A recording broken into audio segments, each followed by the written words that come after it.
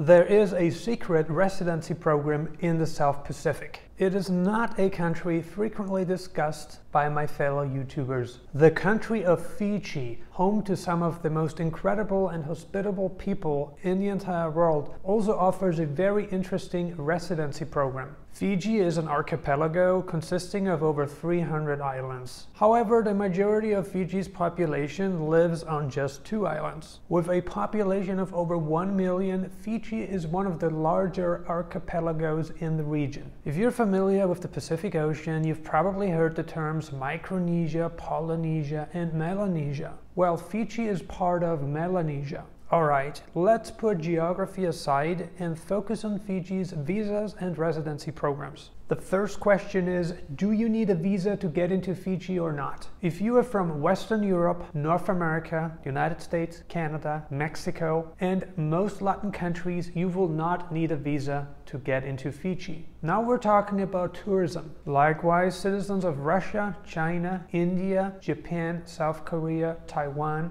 Thailand, Malaysia, Indonesia can visit Fiji visa free.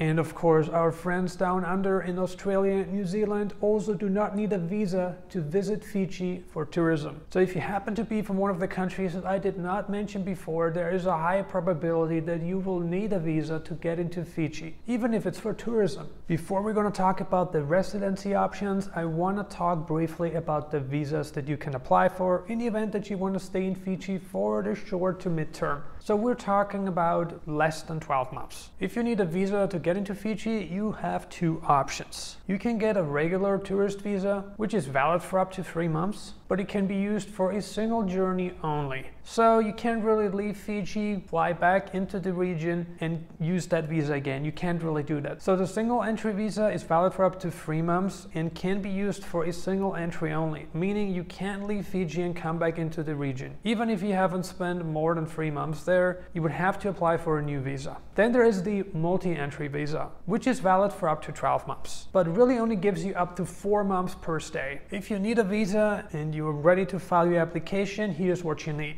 you must visit Fiji for tourism purposes, or something like visiting family and friends. All of the reasons that I just mentioned will get you a visa for Fiji, including a multi-entry visa, assuming that you meet all other requirements. So yes, all requirements must be met before a visa will be issued. You need your visitor visa application form, passport, couple photos, a confirmation of a hotel that you booked, a local sponsor if you happen to be visiting friends or family, a copy of your travel itinerary, and of course what you also need is proof of funds. Nothing happens without money. In reality, there may be more documents you must complete before you can visit Fiji and before the consulate or embassy will issue you a visa for Fiji. So what I'm going to do is I'm going to post a link below the video and you can see what other documents you may need to visit Fiji. One of the most obvious ways for you to migrate to Fiji, I mean to get like a long-term visa, like a residence permit, is by having work in Fiji. It's like that in many countries. Anyway, I wanted to break this down for you. Let's say you are employed by an American company that happens to be doing business in Fiji. That company of yours may be able to issue you a work permit. Another option would be for you to apply for a job at a local business in Fiji, where that company in Fiji will help you to obtain a work permit. If you happen to be applying for a work permit in Fiji, you may include dependents as well. We're talking about your spouse, children, and so forth. If you happen to be sponsored by a company located in Fiji, then the company has to provide the following documents. A detailed description of the position offered to you, a detailed justification for the need of an overseas employee. Your employer, sponsor also needs to provide a justification for hiring an overseas employee because governments, they always ask the question, why aren't you hiring someone locally? Now, what do you need to apply for a work permit in Fiji? You need your passport, you need a filled out application form, you need your criminal record certificate, your CV, curriculum vitae, travel documents, and a few more. Something that I didn't mention before is that the company, whatever company sponsors you, they also need a proof business registration, so when the company was incorporated. And like I said, they also need a proof the reason, you know, they need to provide a reason for sponsoring a person from abroad.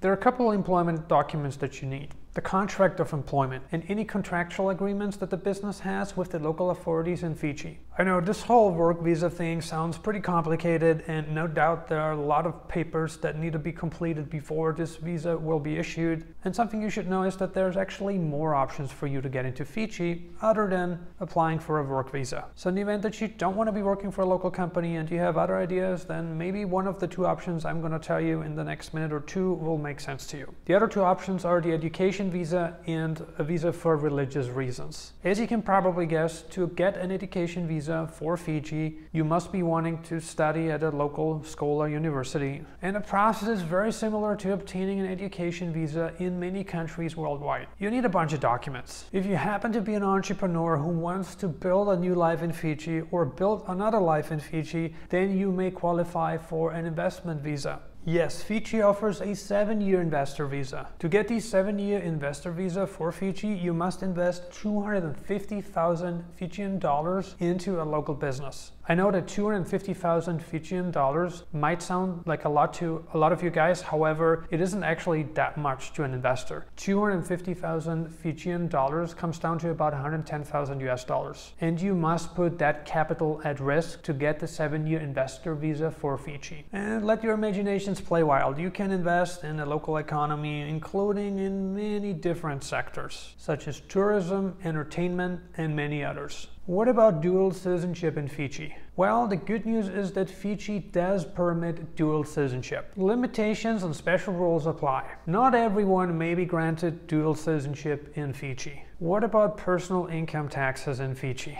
Well, Fiji isn't exactly a tax paradise. Fiji goes by progressive personal income tax rates. At the time of shooting this video, the highest personal income tax rate is 39%. There's a good chance that you will not be moving to Fiji for tax reasons. I totally get it. However, Fiji is a beautiful archipelago consisting of over 300 islands, offering an abundance of beauty that is attractive to so many of us. If you're interested in the lifestyle of the South Pacific and and you want to embark on a new journey while living in a tropical paradise, then Fiji is a place worth looking into. Here at Nomad Elite, we help our American and Canadian clients move to many exotic places across the globe, including islands located in the South Pacific. If you're interested in obtaining a residence permit in Fiji and working with Nomad Elite, then please feel free to get in touch with us now. As always, we appreciate you. Thank you so much for watching Nomad Elite, and we see you on the next video.